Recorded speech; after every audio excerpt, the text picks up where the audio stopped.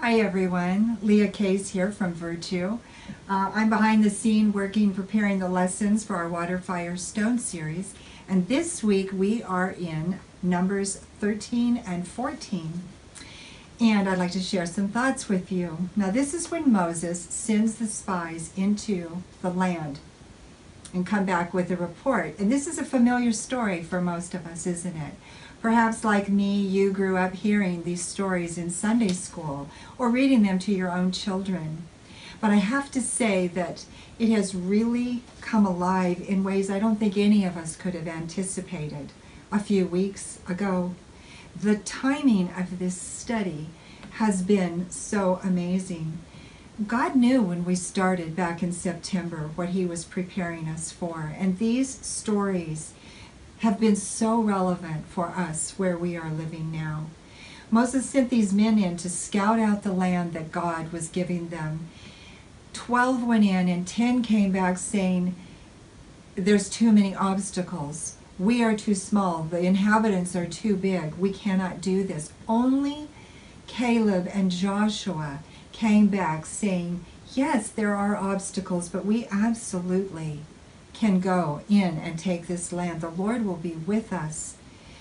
You know, all 12 men saw the same obstacles and they all had the same experience, but they came to very different conclusions. And only Caleb and Joshua still believed that they could go in and inhabit the land that God had promised the people.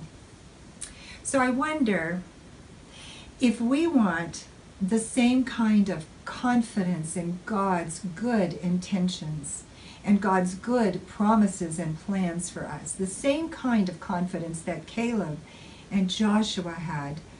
What should we remember? And what should we resist? You know, our attitude is contagious to those around us. We've gotten so careful about washing our hands and wiping down the surfaces and monitoring our temperature and even the slightest cough can be kind of a cause for alarm. And I think that's because fear has a short memory and a very strong imagination and it spreads faster than this virus. But our attitude affects those that we are around. We set the tone in our homes, don't we? We set the tone for our families and for our children. And when we hear troubling news, and there is troubling news, it's easy to let our minds wander down all kinds of what if trails. And that's what the scouts did. That's what the children of Israel did. The scouts, they came back and they kept talking about the cities and the walls and the giants. And it seemed like the more they thought about it and the more they talked about it, the bigger it got.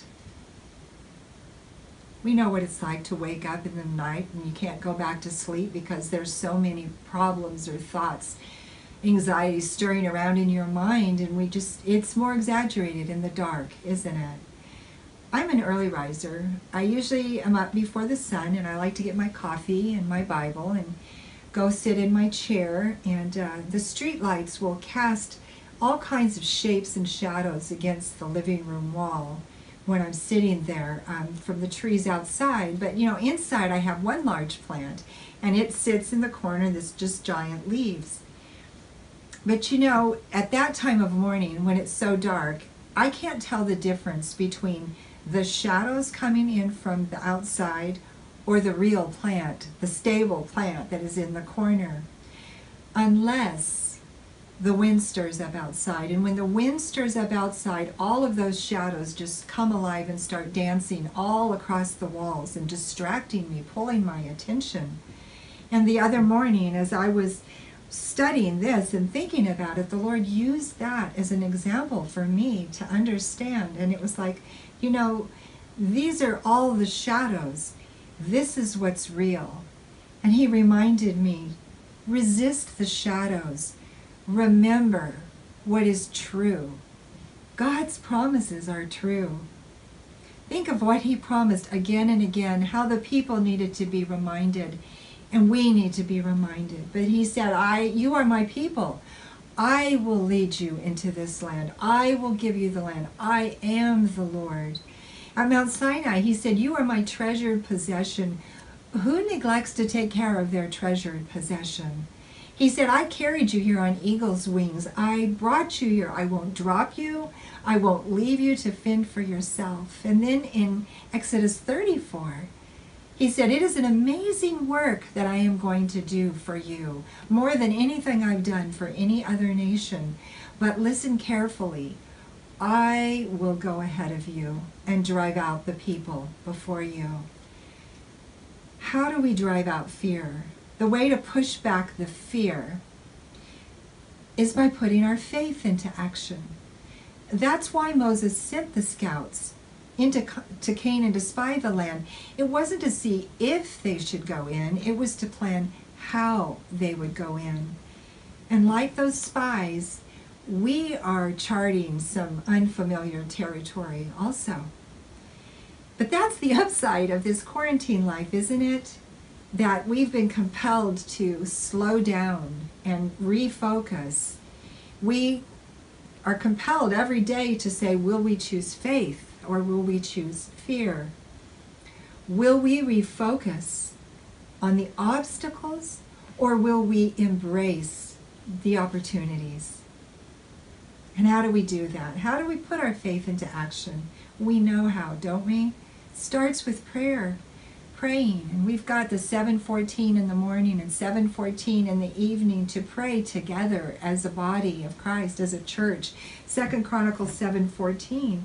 If my people who are called by my name will humble themselves and pray and turn from their ways, wicked ways, and hear, then I will hear from heaven and I will forgive their sin and heal their land. And this has been our prayer. A few years ago, my grandson was pretty worked up about something. I don't remember what. But I just said, Owen, let's just stop right now. Let's just stop right now and pray together. And he said, I just can't pray right now. I have too much traffic in my heart. And I immediately thought, Lord, how often I have traffic in my heart keeps me from praying, praying carefully. How do we pray? To pray the traffic out of our heart. Philippians 4, 6, and 7. And we know that. That is the traffic controller for me. Be anxious for nothing, but in everything by prayer and supplication with thanksgiving. Let your requests be made known to God. And the peace of God that passes all understanding will guard your heart and your mind in Christ Jesus. That's how we get rid of the traffic in our heart. That's how we be strong. We stay in the Word, being in the Word, being in our Bible studies, listening and teaching our children, reading Bible stories and doing activities with them, and staying connected. You know, we've got social media here that a few weeks ago we could actually kind of say, you know what, it's a little bit distracted, distracting and it pulls us away, but now what a blessing it has been to have all these. We have Zoom where we can we can meet with our families and our friends and we can still meet as a virtue group and do these studies together.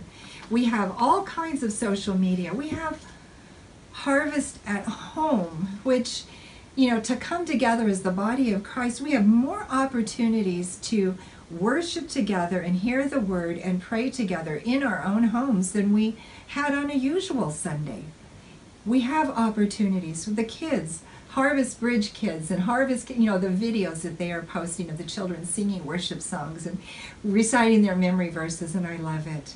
There are simple creative ways that we have to be a light in our community. We know them. It's sending those notes to the neighbors dropping by the store whenever they need something and they can't get out taking them food whenever they're unable.